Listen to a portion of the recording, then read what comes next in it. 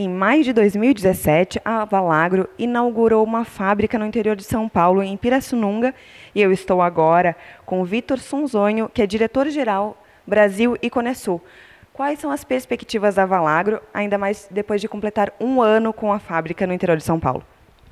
É, bom, bom dia. As perspectivas são muito positivas. Né? A decisão de investimento da fábrica no Brasil realmente foi uma decisão para é, fortalecer a nossa relação com o mercado brasileiro, atender de forma mais ampla os nossos clientes atuais e novos clientes na, na área de grãos e também iniciar as exportações para a América Latina. Né?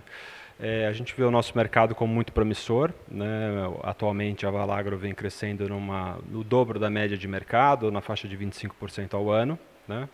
E, e, o mercado de fertilizantes especiais, nutrição especial para agricultura é a área que a gente atua é, predominantemente. Né? É, e nós vemos agora, para este ano, um crescimento bastante promissor e uma expectativa de expansão em grandes culturas uh, de forma mais, maciça, mais massiva. Né?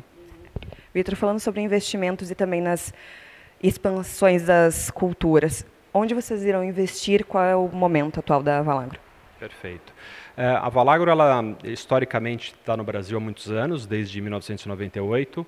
O início do histórico dela no Brasil foi muito dedicado à hortifruticultura, eh, mas hoje 20% do nosso negócio já é relacionado a grandes culturas, soja, milho e algodão. Né? E dentro do plano estratégico da empresa, essa, esse segmento de grandes culturas é onde os nossos investimentos estão mais dedicados hoje. Então nós estamos abrindo novas regiões, Paraná, Rio Grande do Sul, Mato Grosso, reforçando as nossas áreas no Goiás, para ter uma maior presença uh, em grandes culturas houve uma aproximação ainda maior com o produtor rural aqui de São Paulo e também do Brasil com a inauguração da fábrica. Tem novas novidades para o produtor daqui de São Paulo? Sim, nós temos muita, muitos produtos no nosso pipeline de desenvolvimento. A Valagro é uma empresa que investe muito em inovação. Né? Hoje, 4% do nosso faturamento mundial é dedicado para pesquisa e desenvolvimento de novos produtos. E nós, eh, praticamente a cada ano, trazemos uma nova solução para o mercado brasileiro. Então, esse pipeline de novos lançamentos, ele permanece, né, independente dos lançamentos que nós já fizemos o ano passado, do Wildon e deste ano do Opifol, que são duas soluções importantes para grandes culturas, novos produtos vão ser lançados anualmente.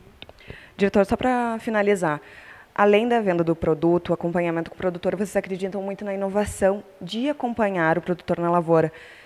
Qual é a relação que vocês têm mantido com o produtor rural? É, nós temos um, um, trabalho de formação da nossa equipe de vendas é, que é muito importante. O produto com mais tecnologia ele requer uma atenção muito maior no posicionamento e na aplicação.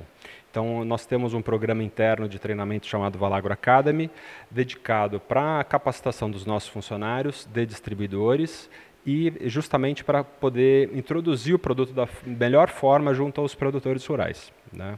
Isso é fundamental para que a tecnologia possa chegar até eles de uma forma muito clara, muito específica e garantindo o retorno de investimento. Eu conversei com o diretor-geral Brasil e Conesul, Vitor Sonzonho, Aline Merladete, para o portal AgroLink.